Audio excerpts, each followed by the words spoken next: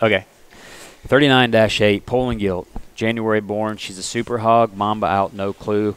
Mom would have been the champion gilt from the 2022 Tulsa State Fair.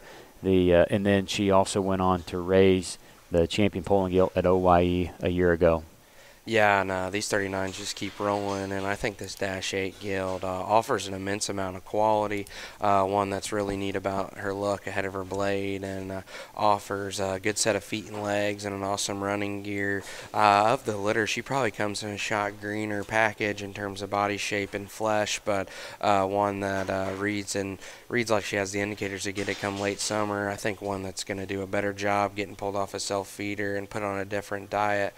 I know this this no clue sow uh, that Richie has is it's hard to get a hold of genetics out of that. And uh, I think if you're looking to uh, uh take your Poland herd to the next level, I think 39.8's one you need to check out.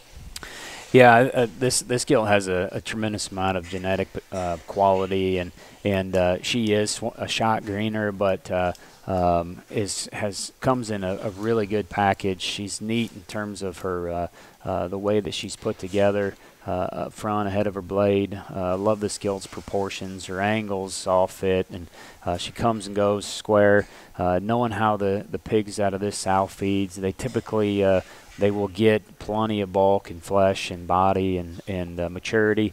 so I wouldn't worry about that one bit. And, and actually, we like to feed them just a shot greener out of this sow um, because they will get it.